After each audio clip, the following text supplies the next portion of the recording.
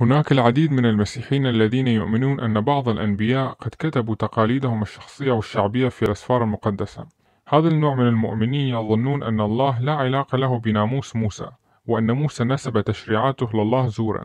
هذا الصنف من المسيحيين يعترف فقط بعشر وصايا من التوراة ويتجاهل وحي الثلاثمائة وخمسة وخمسين الوصية الباقية. لكن هل فعلا اخترع موسى والأنبياء وصايا وشرائع ونسبوها لله كذبا؟ أم هل فعلا قام يهوى بهذا الناموس وأمر بتطبيقه على الشعب؟ هناك نقطة أخرى يجب أن تعرفونها وهي أن تلك النوع من المؤمنين يؤمنون بكل حرف نطق به يسوع في الأناجيل ويستعبرون كلام يسوع فوق كلام كل شخص آخر مهما كان منصبه في العالم الروحي والديني أو على الأقل هذا ما يقولونه فلنرى ما يقول يهوى ويسوع عن الشريعة والأنبياء في العهد القديم وثم الجديد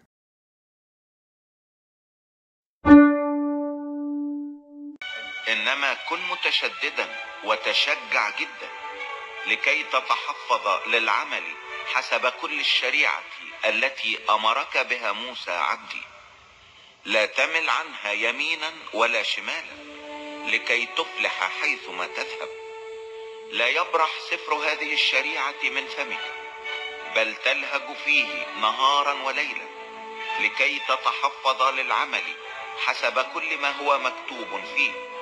لأنك حينئذ تصلح طريقك وحينئذ تفلح.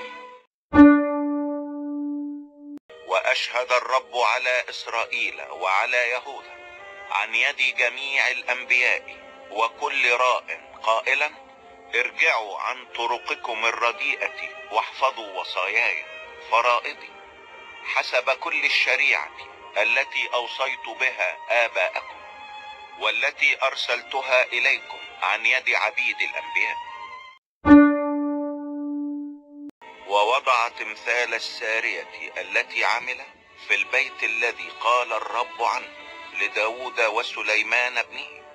في هذا البيت وفي أورشليم التي اخترت من جميع أسباط إسرائيل. أضع اسمي إلى الأبد ولا أعود أزحزح رجل إسرائيل. من الأرض التي أعطيت لآبائهم. وذلك إذا حفظوا وعملوا حسب كل ما أوصيتهم به. وكل الشريعة التي أمرهم بها عبدي موسى. فقل لهم هكذا قال رب الجنود. ارجعوا إلي يقول رب الجنود. فأرجع إليكم يقول رب الجنود. لا تكونوا كآبائكم الذين ناداهم الأنبياء الأولون قائلين هكذا قال رب الجنود ارجعوا عن طرقكم الشريرة وعن أعمالكم الشريرة. فلم يسمعوا ولم يصغوا إلي يقول رب الجنود. آباؤكم أين هم؟ والأنبياء هل أبدا يحيون؟ ولكن كلامي وفرائضي التي أوصيت بها عبيد الأنبياء أفلم تدرك آباءكم؟ اذكروا شريعة موسى عبدي التي أمرته بها في حريب على كل إسرائيل الفرائض والأحكام.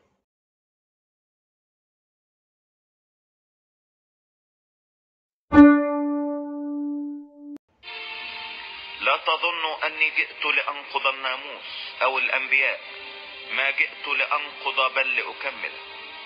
فإن الحق أقول لكم إلى أن تزول السماء والأرض. لا يزول حرف واحد أو نقطة واحدة من الناموس حتى يكون الكل. فمن نقض إحدى هذه الوصايا الصغرى وعلم الناس هكذا يدعى أصغر في ملكوت السماوات. وأما من عمل وعلم فهذا يدعى عظيما في ملكوت السماوات. فإني أقول لكم إنكم إن لم يزد بركم على الكتبة والفريسيين لن تدخلوا ملكوت السماوات. واضح هنا أن يسوع لا يريد نقض وزوال وصايا الناموس لآخر نقطة ولا حتى عند زوال السماء والأرض. لا تظنوا إني أشكوكم إلى الآن. يوجد الذي يشكوكم وهو موسى الذي عليه رجاؤكم. لأنكم لو كنتم تصدقون موسى لكنتم تصدقونني لأنه هو كتب عني. فإن كنتم لستم تصدقون كتب ذاك فكيف تصدقون كلامي؟ عندما تبين أن اليهود لا يصدقون يسوع أعلن يسوع عدم استغرابه من تصرفهم.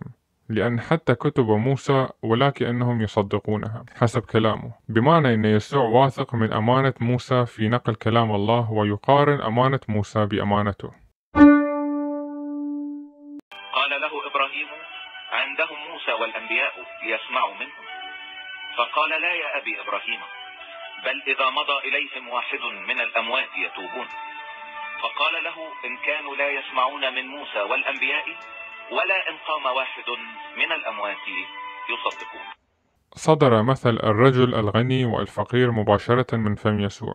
وكلام إبراهيم النهائي وهو في الجنة يثبت أن كلام موسى والأنبياء مستعبر أكثر حتى من كلام ناس قد قاموا من الأموات. ذلك أيضا يثبت مدى ثقة يسوع بأمانة كلام موسى والأنبياء في الأسفار عند اليهود. فلنختم بإنجيل متى. حينئذ خاطب يسوع الجموع وتلاميذه قائلا. على كرسي موسى جلس الكتبة والفريسيون. فكل ما قالوا لكم أن تحفظوه فاحفظوه وافعلوه. ولكن حسب أعمالهم لا تعملوا لأنهم يقولون ولا يفعلون. هنا يخاطب الرب يسوع الجموع والتلاميذ مباشرة. آمرهم أن يحفظوا ويفعلوا كل ما يقولون لهم الكتبة والفريسيين. بما أنهم جالسين على كرسي موسى أي مشرفين على الشعب وحافظين التوراة بمثابته. وأن لا يفعلون أفعال الفريسيين لأنهم لا يطبقون التعاليم التي يعلمونها أي الناموس هنا يظهر كم من الثقة والتقدير يمتلك يسوع نحو النبي موسى. فكما رأيتم وسمعتم حسب الكتاب المقدس في العهدين لم يتجاهل الله شريعة الأنبياء ولم يعارض يسوع ناموس موسى. بل أدعموا وأيدوا على حفظ وإتباع الشريعة التي أتى بها موسى والأنبياء وحذروا ضد عصيانها. لكن سيتحججون تلك المسيحيين بالعبارات قد سمعتم أنه قيل للقدماء وأما أنا فأقول لكم. هذه العبارتين التي استخدمها يسوع في الإصحاح الخامس من إنجيل متى. وهذا سيكون ردي لكم. عندما كنت أحضر إحدى الكنائس الرائعة تعلمنا أن هذه العبارتين لا تعني أن الذي أتوا به الأنبياء للقدماء يخالف ما يقوله يسوع هنا. أما أن يسوع فقط يعطي لب الموضوع أو هدف الوصايا القديمة. والدليل على هذا التعلم هو حيث قال يسوع في العدد السابع والعشرون قد سمعتم أنه قيل للقدماء لا تزني وأما أنا فأقول لكم إن كل من ينظر إلى امرأة ليشتهيها فقد زنى بها في قلبه.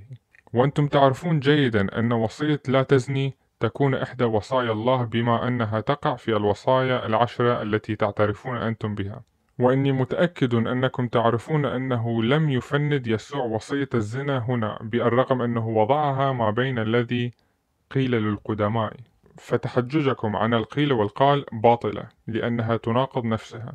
فبالنهاية لقد شهدت أسفار وأناجيل الكتاب المقدس أن ناموس موسى موحى به من الله على فم يهوى ويسوع نفسهم.